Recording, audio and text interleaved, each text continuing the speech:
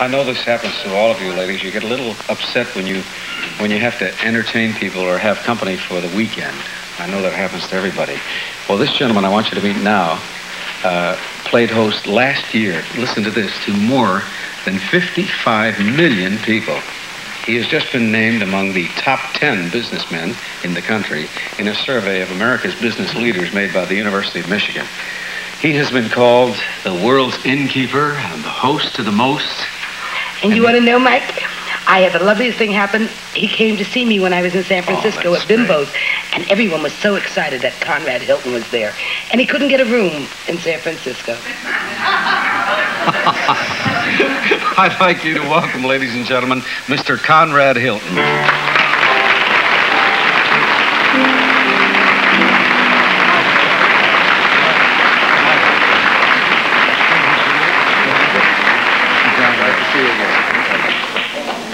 You sit.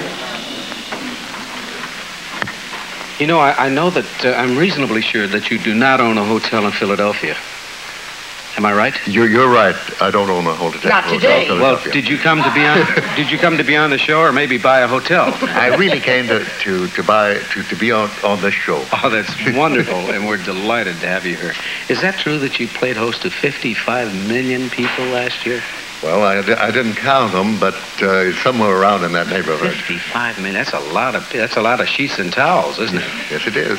Do people still swipe things from the Yes, hotels? they still swipe them, but we uh, we don't worry about it anymore because we know they're going to swipe them anyway. No, no. Are you insured against something like that, or, or do you just? No, we just. is that no, figured into the expense. bill? That's, it's figured. It's figured part of the expense of running the hotel, but they're going to swipe. That is. Now, do you know in advance? Does the maid tip you off that certain people have taken bath mats and things? Uh, they, they, no, not a mat, not a, uh bath mat or something, but if there's a uh, painting or something missing, they're liable. They, they'll tell us. Oh, well, they no. screw him into the wall, Mike, because I tried. he did. He screws him into the wall, and the lamps are screwed into the table. Can I can I ask you? Did, did you ever do anything like that to a competitor when you go to their hotels? Did you ever take any of their towels? no, I don't want any of their all. How long have you been in the hotel business, sir? well, I've been actively in the hotel business since uh, 1920. May I ask how old you are, sir? Let's see, I've forgotten exactly how old I, I am. Uh, I'm old enough. very nice. That's very nice. How, how did the whole thing start? Would you tell us the story of how you got started? Well, right, right after World War One, um, I went up to see a friend of mine in uh, Albuquerque, New Mexico, where I was born. I was born in a little town uh, south of Albuquerque. And this man was a good friend of mine, and uh, he had TB. And uh, as I sat and talked to him, he said to me, I'm not long for this world. The good Lord is going to take me soon. And I want to say this to you that if you will go to Texas, you are going to make your wealth. And uh, Any was place, such an impressive, any place in Texas, or just, Just Tex- Texas. Just Texas. I just see. Texas, he said. And there was a, a big oil boom going on in Texas over a, a great portion of Texas. So I took him at his word. Did you have any money at the time to invest? I had a, a little money. Mm-hmm. Uh, I probably had five thousand dollars. It was a lot of money then. Well, it was, it was yes, maybe it was a lot. Uncle Sam was just paying me 160 a month, but I was uh, uh, I had uh, earned some money before that. selling towels? no. Did you have a dream about this sort of thing, or, or a particular goal? Well, I tell you, I uh, this it was such an impression on me that I went down there and I thought I went into the first town I went into was Wichita Falls, Texas, and I went around to a bank and uh, asked if they would sell the bank. Not- a large bank, you know, uh, but a, just an ordinary sized bank. And he says, no. He says, there's um, not enough money to buy my bank. He says, but why don't you go to those southern oil fields? He says, there's a lot going on down there near Ranger and Cisco. So I did. I went down there, and uh, one evening I went into uh, uh, a hotel, and it was just booming. There were people coming in and out, and I met the, introduced myself to the manager, and he told me uh, how, how much he could make, how much he was making, and how much he could make if he was out in the oil fields. So I thought, uh, would you mind telling me how much you're making? And he, he says, I'll tell you. He says, I'm making $2,000 a month. And this was a 40-room hotel. So the next day, I sent a man over to see him, a real estate dealer, and I said, see what you can buy that hotel for me.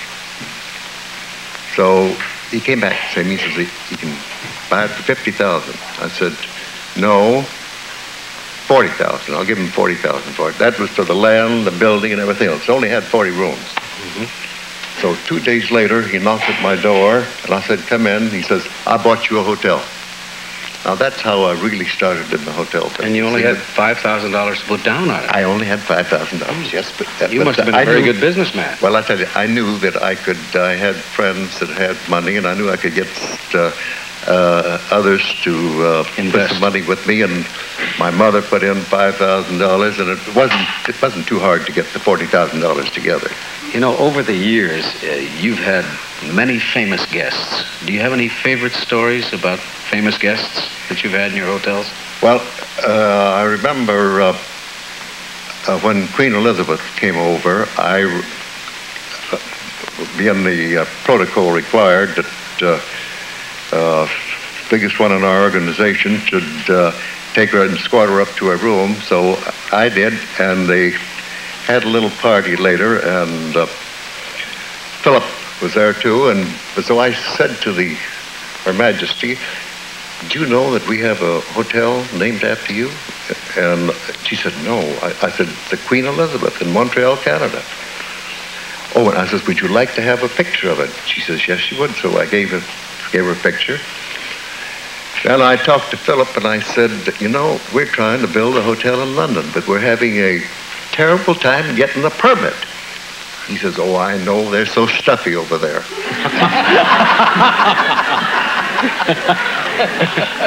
so you look in, in, just great shape. How, how do you do it? Well, thank you. That's a very really nice does. compliment. It does, doesn't and, it? And uh, uh,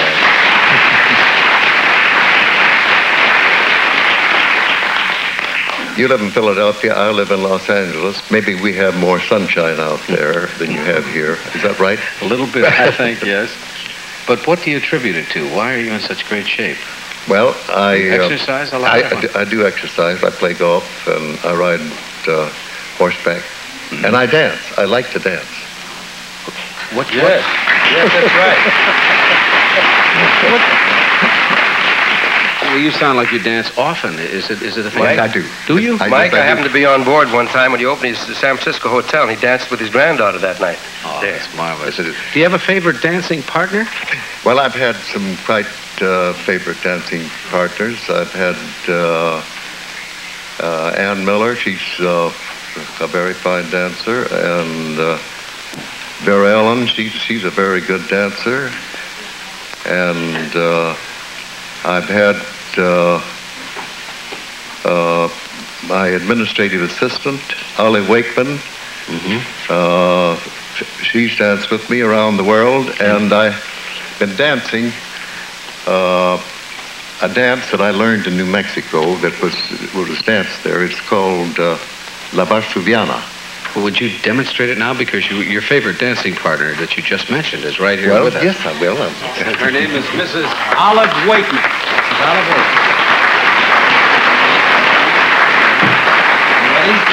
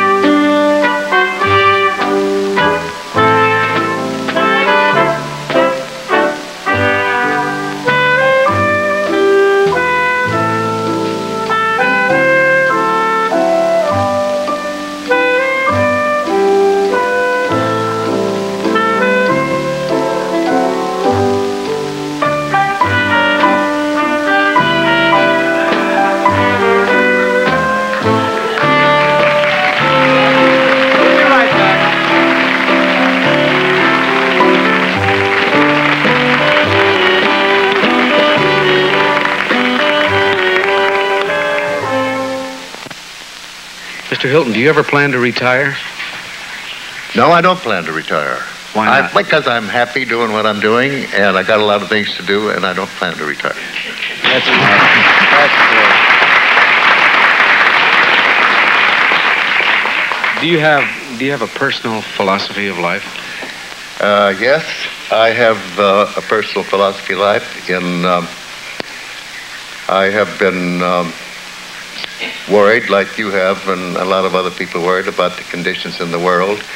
And in our uh, international hotels, we have a slogan uh, that we hope to uh, it's going to help, and it is uh, through travel, world peace.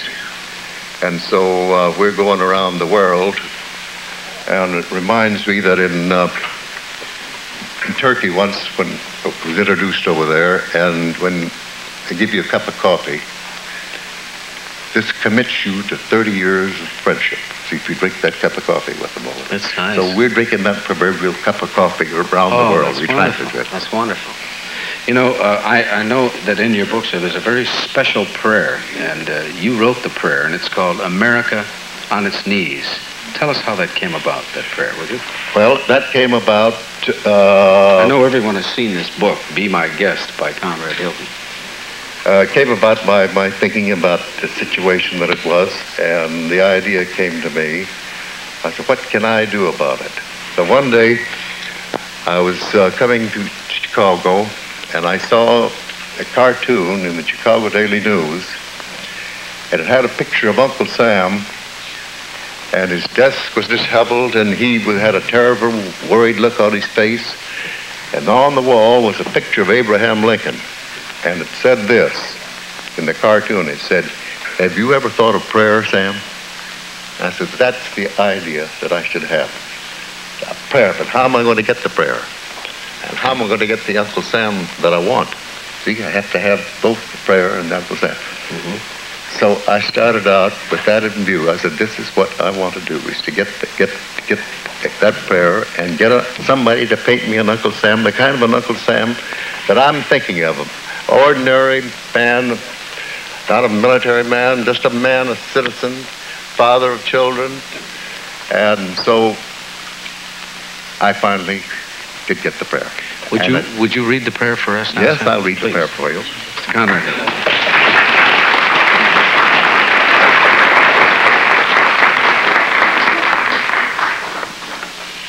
Uh, we have been like a child who has lost his father's hand in the traffic of a busy crossing. The noise and confusion frighten him. He is lost. He is in terror. Then suddenly he sees his father. He rushes to him, takes his hand, and all fear is gone. We are like that child. We are lost in a terrifying confusion of events, and we can never know peace or have confidence in our hearts until once again we find the hand of our Father who is in heaven. Our Father in heaven, we pray that you save us from ourselves. The world that you've made for us to live in peace, we have made into an armed camp. We live in fear of war to come. We are afraid of the terror that flies by night and the arrow that flies by day, the pestilence that walks in darkness, and the destruction that wastes at noonday. We have turned from you to go our selfish ways.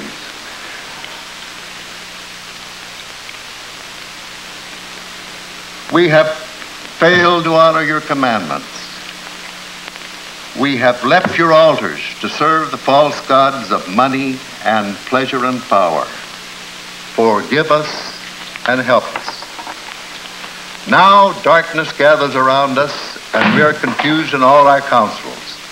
Losing faith in you, we lose faith in ourselves. Inspire us with wisdom, all of us, of every color, race, and creed, to use our wealth, our strength, to help our brother instead of destroy him. Help us to do your will as it is done in heaven and to be worthy of your promise of peace on earth. Fill us with new faith, new strength, and new courage, that we may win the battle for peace. Be swift to save us, dear God, before the darkness falls. Come right here. We'll be right back.